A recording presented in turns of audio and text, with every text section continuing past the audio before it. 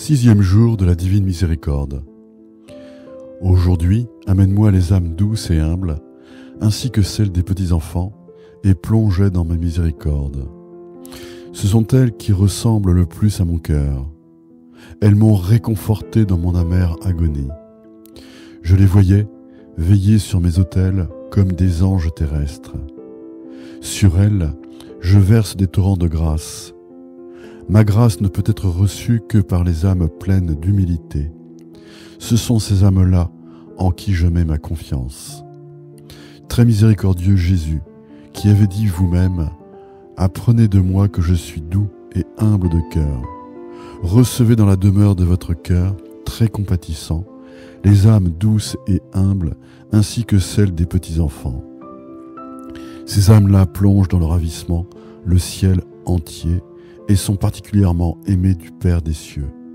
Elles forment un bouquet de fleurs devant le trône divin dont Dieu seul respire le parfum. Ces âmes-là demeurent pour toujours dans le cœur très compatissant de Jésus, chantant sans cesse l'hymne de l'amour et de la miséricorde pour l'éternité. L'âme véritablement humble et douce respire déjà le paradis sur terre, d'un parfum d'humilité, son cœur grise le Créateur lui-même. Père éternel, jetez un regard de miséricorde sur les âmes douces et humbles, ainsi que sur celles des petits-enfants, demeurant dans le cœur très compatissant de Jésus. Ce sont ces âmes-là qui ressemblent le plus à votre Fils. Le parfum de ces âmes monte de la terre et s'élève jusqu'à votre trône.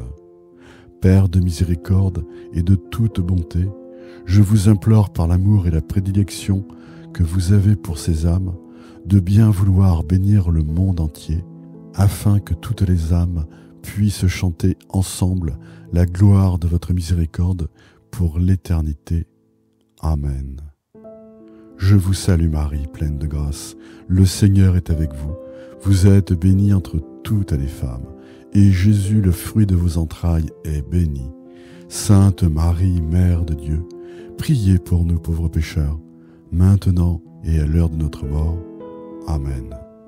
Gloire au Père et au Fils et au Saint-Esprit, comme il était au commencement, maintenant et toujours, pour les siècles des siècles. Amen.